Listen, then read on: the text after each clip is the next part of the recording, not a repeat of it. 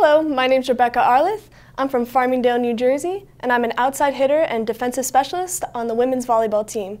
I came to Brookdale because it was the best choice for me.